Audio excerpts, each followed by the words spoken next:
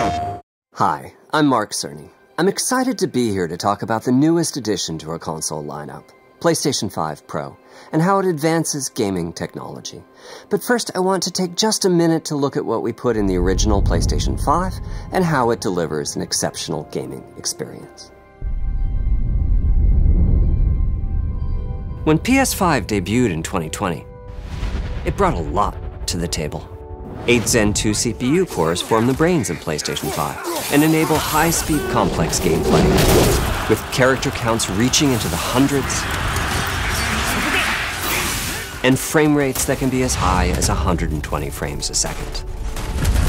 PS5 has a powerful RDNA 2 GPU, which can render anything from intricate details to fantastic worlds with vast panoramas to explore.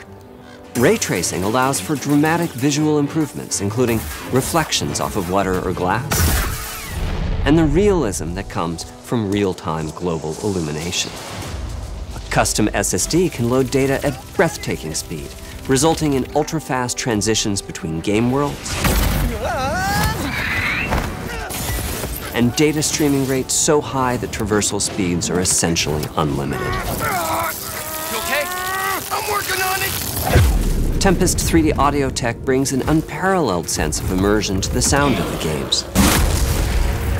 With audio so real, you may not even need to see the enemies to know exactly where they are.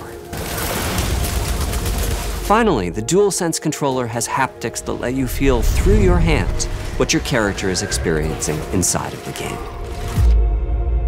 It's wonderful to see such variety and richness of game experiences.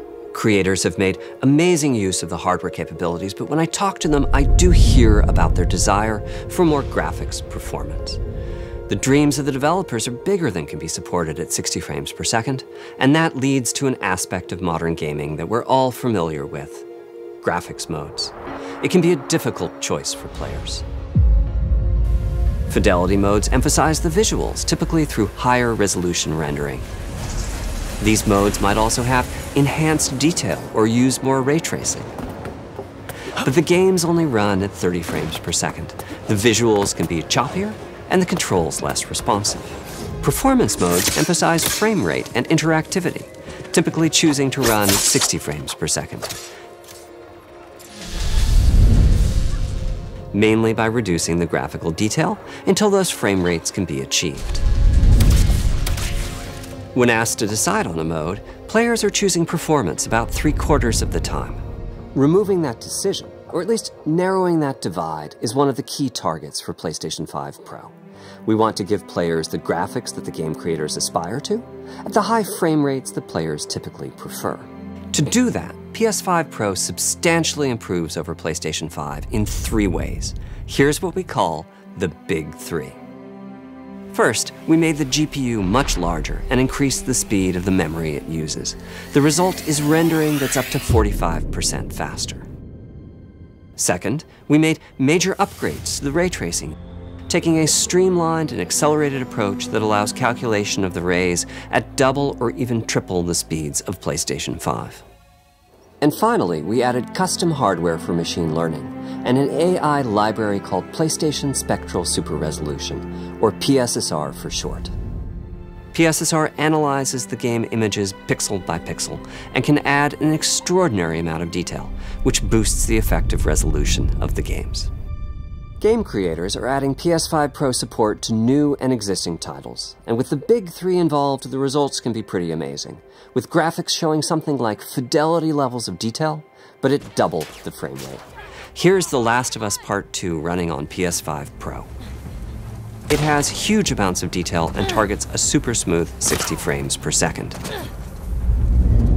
Let's compare this to the fidelity mode on PS5, which is only running at 30 frames per second and is therefore much choppier. This goal of delivering almost fidelity-like graphics at performance frame rates has been achieved for a broad set of titles, including Marvel's Spider-Man 2 and Ratchet & Clank Rift Apart. We can see that PS5 Pro is close to doubling the power of PlayStation 5. Another way to compare the two consoles is to look at PS5 Pro versus Performance mode on PS5, both of which target 60 frames per second. What we see here is a difference in detail. PS5 Pro is much sharper and crisper than PS5. For this, my favorite is the parade scene from Ratchet & Clank. Distant details are much clearer. And here we can see Marvel's Spider-Man 2 is noticeably higher resolution throughout the scene, including the trees and procedural cars. So overall, some remarkable improvement to the games. On PS5 Pro, we can see increased sharpness to the graphics or smoother and more responsive gameplay. This is the big three showing their value. As you've been seeing, machine learning via the PSSR library is being used quite broadly to add pixel detail and boost frame rate. But there are as many approaches as there are game engines. The increase in raw GPU power is being especially effective for Horizon Forbidden West. Apart from the detail boost, that extra graphics power is allowing for improvements to lighting and visual effects, as well as to the hair and the skin in cinematics. Open up, guys. Jorv's orders. Good enough for me.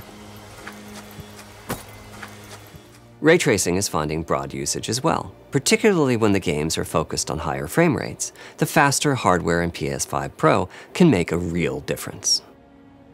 Allowing Gran Turismo 7 to add ray traced reflections between the cars in gameplay, while continuing to support their targeted 60 frames per second.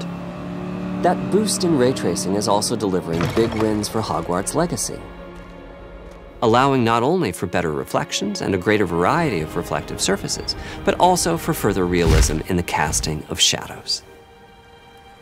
I hope you've enjoyed this run through of the technology behind PlayStation 5 Pro. Simply put, it's the most powerful console we've ever built, and a worthy addition to the PS5 family. Let me wrap this up by giving you a quick look at a number of games running on the new console.